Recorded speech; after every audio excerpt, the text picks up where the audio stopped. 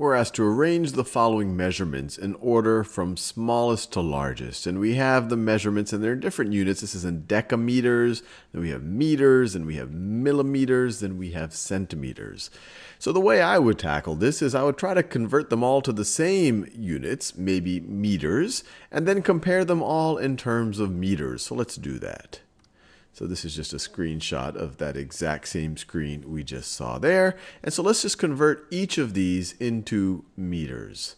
So the first one we have right over here is one, one decameter. So we have to remind ourselves what deca even means. Well, deca, deca is equal to 10 meters. And actually, let me add more of these just so that we know all of the different prefixes we could have. So you have deca, you have hecto, which would be 100. You have kilo, which would be 1,000. And then, of course, you just have meters, and you would have no prefix there. That would just be equal 1 if you have no prefix in front of the meters. And then if you have a tenth of a meter, that is decimeter. So this is 1 tenth. Then you have centi, which is 1 hundredth. And then you have milli, and then you have milli, which is equal to 1,000. So let's use this information right over here to figure out how many meters each of these are. So one decameter, one decameter, decameter, we just saw deca means 10. That's 1, 1 times 10 meters. So this is going to be equal to 10, 10 meters. So this right over here is 10 meters. This is already written in meters. This is 13 meters. Then we have 15,000 millimeters. So it's 15, 15,000 millimeters. And, but milli means 1,000th. So it's 15,000 times 1,000th of a meter.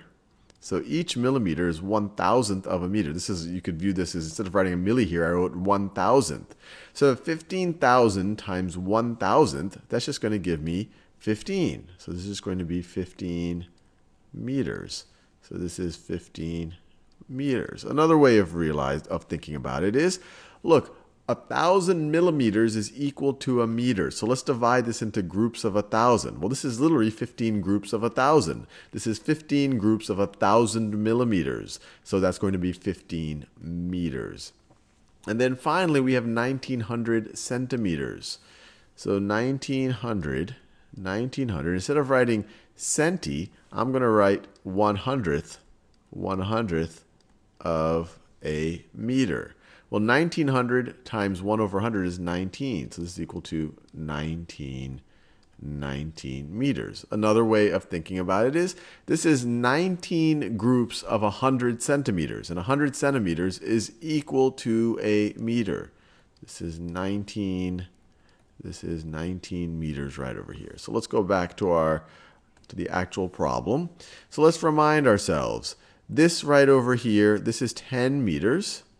This is 10 meters. This is 13 meters. So 10, 13. This right over here was 15 meters, and this right over here was 19 meters. So actually the order that they already gave it to us in, we could obviously swap things around if we wanted to, but the order that they already gave it to was the, was the order from smallest to largest. This is 10 meters, 13 meters, 15 meters, and 19 meters.